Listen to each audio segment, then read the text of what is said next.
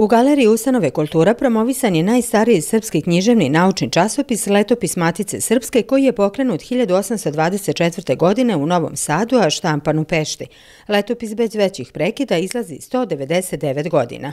On je izlazi u takozvanim sveskama, u godištima i ovaj, objavljuje savremenu književnu, prevodilačku produkciju, eseističku. Povremeno ima i nekih tematskih blokova posvećenih nekim važnim istorijskim događajima vezani za srpski jezik, kulturu i književnost i za srpski narod uopšte e, vezano za neke značajnije nagrade i manifestacije koje organizuje Matica Srpska, kao što recimo Zmajeva nagrada ili ovaj, Svetosavska beseda, odnosno Dan Matice Srpske, tako da on istovremeno i hronika kulturnog života Novog Sada i Matice Srpske uopšte. E, prati novu, ovaj, nove knjige e, iz svih oblasti.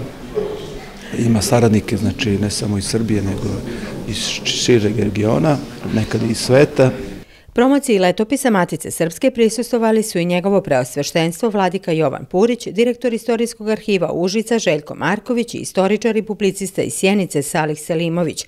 O Matici Srpskoj govorio je generalni sekretar dr. Milan Micić, o biblioteci njen upravnik Selimir Radulović, o letopisu dr. Zoran Đerić, a u drugom delu promocije kazivali su svoje stihove. Potpisivanje protokola o saradnji sa Maticom Srpskom značajno je za opštinu, ali i manifestaciju Ćirilična baština. Imaćemo i u okviru ovog ovogodišnje Ćirilične baštine već značajan deo programa koji će biti pripremljen u organizaciji sa Maticom Srpskom, ali još nekih stvari koje za sad nećemo otkrivati, koje pripremamo također sa Maticom Srpskom, pa očekujemo da će i program pete Ćirilične baštine da napravim još jedan iskorak zajedno sa ovom, da kažemo, srpskom institucijom koja je prepoznala sve ovo što radimo vezano za Ćirilicu u Bajnoj bašti i tu je da nas svesrpno pomogne da to i sa naučne osnove podignemo na jedan više nivo.